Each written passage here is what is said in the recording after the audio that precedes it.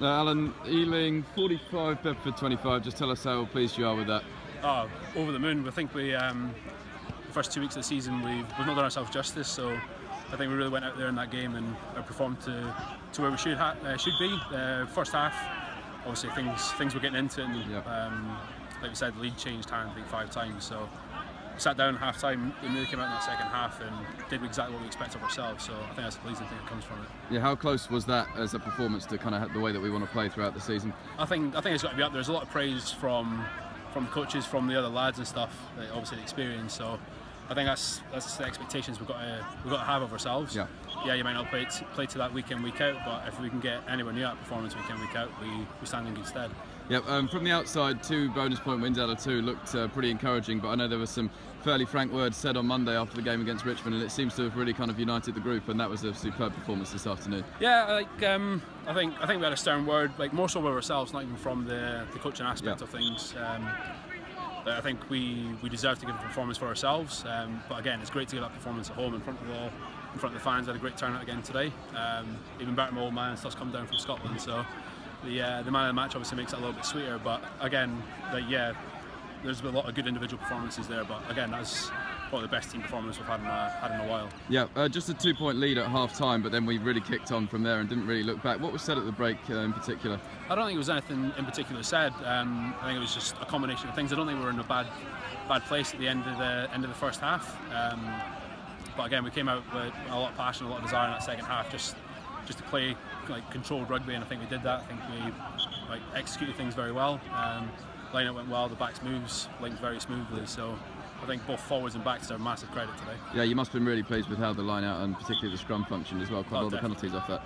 Yeah, definitely. Um, I think I think the boys deserve deserve to have a good drink in the bar and stuff after, and really enjoy enjoy the win today. Um, again, what's that third third bonus point of the season? So yeah, definitely sit down and enjoy it. Um, but again, there's massive credit to the backs. Like they created a lot of space and stuff today. Um, makes it easy for us when we're going forward as a as a pack. So. Yeah, how good is it when you give them the front football and you know that they're going to be making the yards that they did, particularly in that second half? Uh, Oh, definitely. As forward pack. you end up you end up playing with a smile on your face Yeah. and stuff. Like um, the one that sticks in my mind, we had a line out on the far side, went straight off the top, straight to the backs, and they ran out in the corner. I think uh, I think I had to move maybe three or four meters, so it put a big smile on my face. I just had to walk back to halfway. So it was just great to see a couple of boys really really stand up to the performances in today. Uh, good to see a couple of boys back like Miles Mantella and stuff as well. So yeah, just it was an all all round performance, especially that second half. Yeah, personally for you, you went over for your second try in two weeks and also Yes. got the man of the match award. Must be pretty pleased with that. Oh, definitely. Um, oh, I said to said to Drew to try not to score one today, so I could try and close the gap on him. But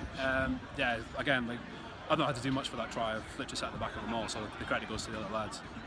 Uh, yep, and just finally, um, three wins out of three, and now we head to London. Uh, head, we host London Scottish next weekend. Uh, head into that with a lot of confidence. Oh, definitely. I think uh, there's a lot to lot to gain from today. Um, but again, I'm not obviously I'm not sure how the results went, but again, it's going to be a local derby. Um, they'll be up for it for sure. Um, obviously, a new season. We, um, we did a job on them last year, but that's nothing to lean back on anymore. Um, we've got a good squad, so obviously a couple of ex-Ealing boys as well, so it'll be nice to see them. But I think we're again we've got to really knuckle down this week and, and come out all guns blazing again next week. Well done today. Thank Outstanding. you very much. Cheers. Uh, Codders, that's our third bonus point win of the season, but as a performance, you must be absolutely delighted with that one. Absolutely thrilled. I think uh, we, we all recognise in the first two weeks there's, there's been some good passages of play, but we've not been uh, been ourselves. And I thought today you saw real uh, a real team performance, one to 22, and uh, particularly second half, some outstanding tries. And the most pleasing thing was when we got on the front foot, we, we really capitalised and. Against a very good Bedford team, and I thought overall it was an outstanding advert for the championship.